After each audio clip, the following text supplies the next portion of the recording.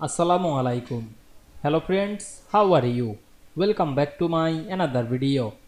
In this video, I am going to show you how to create flattened PDF file in Affinity Publisher. Let's get started. At first, we have to open Affinity Publisher document and we can see here some pages. Now we want to create flattened PDF file. Firstly, go to the file menu and click the export option. Then here the save as type. Now I am select the drop down menu and choose the PDF file.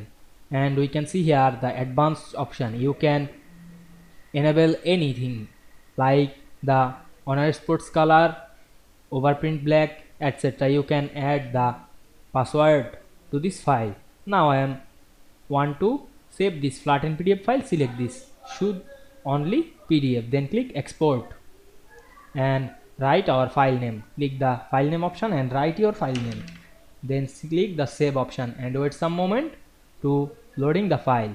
Then go to our file location and select the pdf file. You can open this file anywhere. Now i am click right button on our mouse. Select the open with option. Now i am open the pdf file google chrome.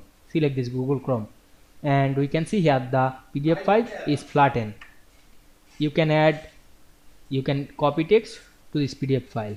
I hope you enjoyed the video. Please like comment share and subscribe my channel. Thanks for watching